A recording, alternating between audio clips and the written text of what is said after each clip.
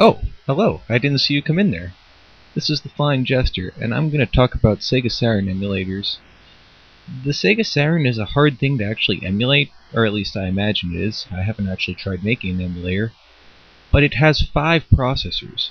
One is a dual-core general processor, it has two not quite identical graphics processors, and it also has a few separate sort of housekeeping processors, including a 68K, which is a very common processor, and about six very small but substantial and important processors that are completely unique to it. So it's sort of surprising to me that there are so many emulators that can actually do a passable job.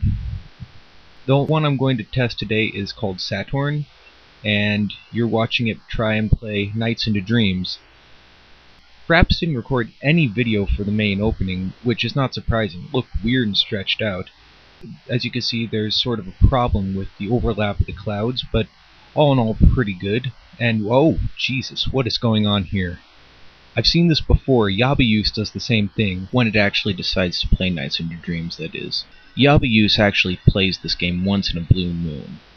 It's only happened to me a couple times, and it always looked like this when it did and Satourne seems to actually start at about half the time. There doesn't seem to be any rhyme or reason as to when it works and when it doesn't. This is the swirl animation from when Nights does a loop, but it's sort of on top of everything, and it causes these weird lines to appear, and as awesome as this looks, I generally don't consider this actual emulation, because this is not at all what it should look like. Fortunately, Satourne lets me disable certain parts of the video at once. So I did a little research, looked through the settings, and I've actually disabled the part of the screen that was showing me that. Unfortunately, that sort of makes the backgrounds look like this weird, ghostly night. Here we go, I'm trying to play, and it's very difficult to actually do loops using the keyboard. It, I thought it was bad just using the not 3D controller, but this is almost impossible. But that's not the emulator's fault, that's just because I don't have a good gamepad or anything for it. If I did, I'm sure this would work very well. And Satourne can actually take the uh, input from like a 360 controller, so if I had that hooked up right now, this would actually be playable. And it actually plays very smoothly. I haven't seen any drops in frame rates, which actually is quite common for emulators, especially on my laptop. My laptop is getting older. So this works pretty well. I would actually see playing this even though the swirly animations are gone and generally speaking it doesn't look as nice as I remember and I have played this very recently. Of course I do plan on doing let's play of Nights into Dreams sometimes. That is where I get the name Flying Jester. So let's have a look at another game. This is Casper. This is almost impossible to get an emulator to play and as you can see it's not working quite right all of the words appear just garbled, and it took a lot of trial and error to get this to actually work. Even with all the settings the way they are now, which is the only way I can get it to actually work, I didn't think it was working at the start, mainly because when it's supposed to show a cutscene, which the game starts with, it just shows you this gray screen and the frame rate drops to about 3 frames per second. If I just keep spamming the start button though, it does work. Right now I'm using the Japanese ROM with the European game and to actually get to work not only do I have to have sound enabled but I also have to use the plugin for Satourne that is the debug sound which doesn't actually work.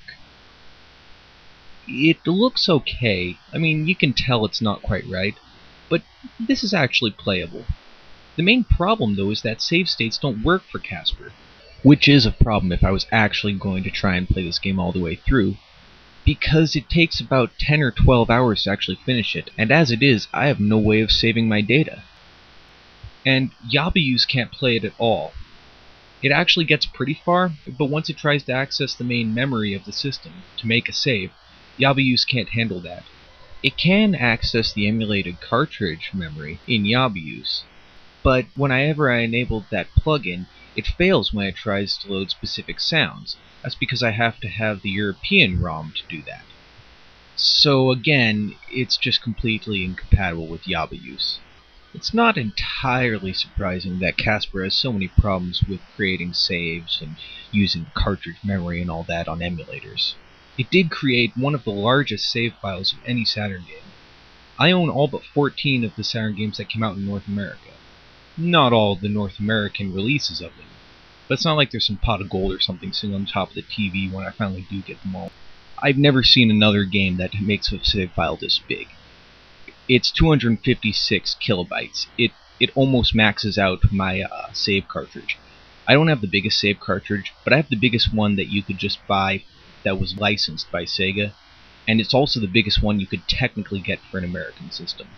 I think the European ones work too, but I know the Japanese ones did not. So this works pretty well. I, I could see actually playing through if I could save. I'm kind of confused as to why the words come out all garbled. It's not like it's getting anything from the BIOS to put in the Japanese letters, and I know that the BIOS had support for all the Japanese letters. So I don't really know why that's happening. Loading screens are also completely bugged out. I'm skipping through all the scenes that sort of look bad because I've already played this for a little bit. Some of the screens just have weird fractals everywhere. Some of them are just garbled graphics that are missing. And as you can see, some parts of the floor seem to scroll strangely. Fraps can't actually record what it looks like exactly, but it's a pretty good, it gives you a pretty good idea.